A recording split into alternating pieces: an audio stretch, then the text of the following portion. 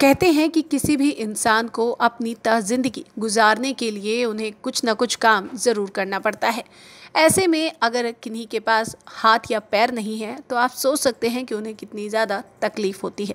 लेकिन मैं आपको जो वीडियो भी दिखाने वाली हूँ, उसे देखने के बाद आप वाकई में ये कह पाएँगे कि वाकई में ऐसे हिम्मत वालों को शुक्रगुजार करना चाहिए कि वो अपने हाथ पैर ना होने के बावजूद भी अपनी ज़िंदगी को बहुत खुशनुमा अंदाज से जी रहे हैं। देखिए वीडियो।